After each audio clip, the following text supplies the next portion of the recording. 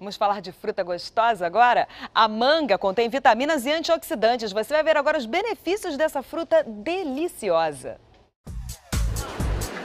Cores, sabores, variedade. A manga é tudo isso e muito mais. A fruta vem do sul da Ásia e se adaptou muito bem ao clima tropical está entre as preferidas do brasileiro. O sabor dela é agradável. Né? É uma fruta muito tropical, ela você pode fazer muita coisa com ela, né? Ela é molinha, né? Ela tem bastante água. Ah, é uma delícia, né? E neste mês começa a época de manga em todo o Brasil. A colheita vai de setembro a março. Em Belém, por exemplo, os pés de manga são tradicionais estão espalhados pelas avenidas. As árvores estão carregadas de frutas. Tem manga de vários tipos e tamanhos. Eu gosto da Aden. Acho ela mais docinha. A Palmer. Manga eu como de qualquer jeito, é coquinha, é a manga rosa, é aquela manga espada.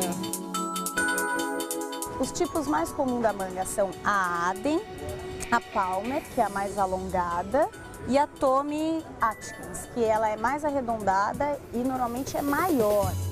Existem as pequenininhas de 100, 200 gramas, tem até manga de 700 gramas, mas a maioria delas pesa entre 400 e 600 gramas. Na hora de consumir, cada um tem uma receita preferida. Come crua, assim, para sobre, como sobremesa. E salpicados na salada é muito gostoso também. Salada de frutas ou com a salada verde. Pode fazer mousse de manga, né? Que é gostoso. Sorvete. A manga pode ser consumida in natura, como sucos, em preparações como geleias, bolos, sorvetes, em mousses e também em outras preparações mais exóticas, como nas saladas ou em molhos para carnes. A saúde? A manga é rica em fibras e ajuda a regular o intestino. Mas não é só isso. Ela é muito boa porque ela traz vitamina, né? Principalmente as vitaminas A, E e C são as vitaminas antioxidantes, que ajudam a combater substâncias tóxicas ao organismo ajudam a melhorar o sistema imunológico e também retardam o envelhecimento.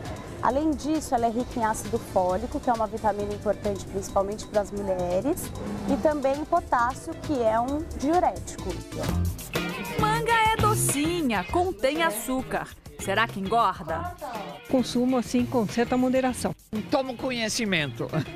Eu como porque eu gosto. A manga pode ser utilizada qualquer, por qualquer pessoa, inclusive pelas crianças, pelos idosos.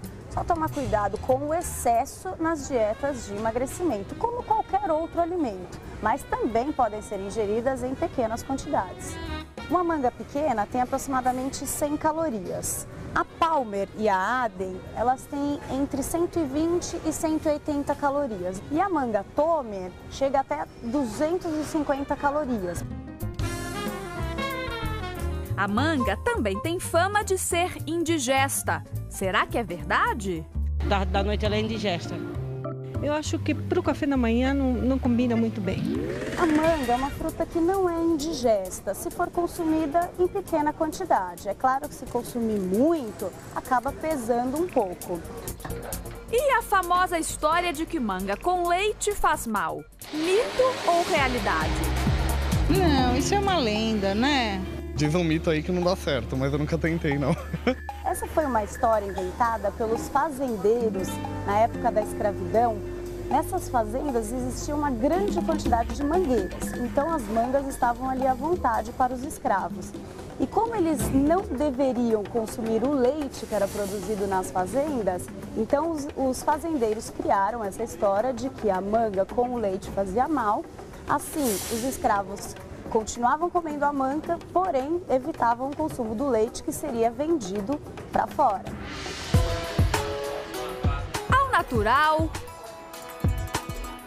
em doces, em sucos e até com leite.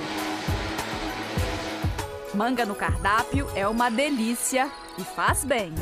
Porque ela é saborosa, acho ela gostosa, cheiro bom. Caso eu mando ver, chupa manga.